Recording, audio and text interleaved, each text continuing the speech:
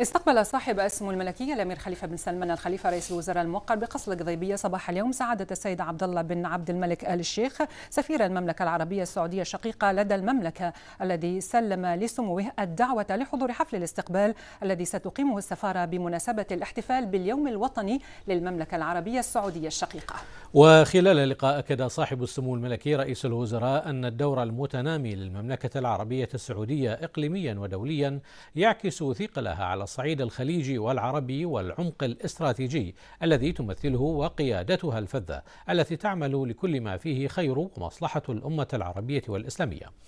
وأكد سموه أن قيادة وشعب مملكة البحرين جبلوا على محبة المملكة العربية السعودية الشقيقة منذ الأزل فهي العمود للاستقرار والنمو الخليجي والعربي بالإضافة إلى ما يجمع بين البلدين من روابط وعرى وثيقة يربطها صلة القربى ووحدة البصير.